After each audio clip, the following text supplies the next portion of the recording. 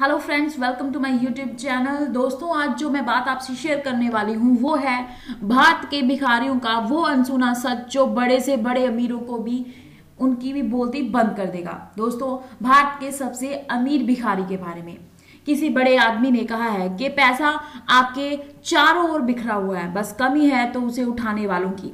इस पैसा उठाने की भागदौड़ में हमें हमें से कोई डॉक्टर बन रहा है तो कोई इंजीनियर, क्योंकि कोई भी भिखारी बनकर नहीं रहना चाहता। पर कई लोग ऐसे भी हैं जिन्होंने भिखारी बनकर भी वो सब हासिल किया, जिसके लिए हम एक आदमी दिन रात मेहनत करता है।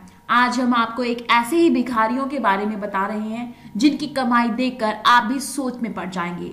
भारत में इतनी गरीबी होने के बावजूद भी कुछ ऐसे भिखारी हैं जिन्होंने भीख मांग मांग कर लाखों के फ्लैट और खुद के घर ले लिए हैं।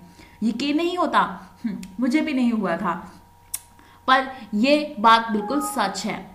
आज हम आपको भारत के सबसे अमीर भिखारियों के बारे में बताएँगे जिन्होंने अच्छा खासा बैंक बैलेंस जमा कर रखा है और फिर भी सिग्नल पर भीख मांगते हुए ही नज़र आ रहे हैं। जी दोस्तों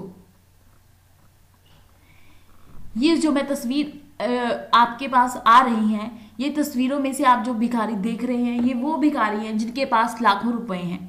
अपने फ्लैट्स, बैंक बैलेंस सब कुछ है, जिन्हें किसी चीज़ की कोई कमी नहीं है, लेकिन उनका वर्क एक ही है, भीख मांगना। रोड पे खड़े होकर लोगों से भीख मांगना। जी दोस्तों, है ना ये एक दिलचस्प बात? तो दोस्तों, अगर आप ऐसी ही बातें, ऐसी न्यूज़ सुनना चाहते हैं तो मेरे चैनल को सब्सक्राइब करना मत भूलिएगा। मिलेंगे एक नई वीडियो के साथ। तब तक good bye have a nice day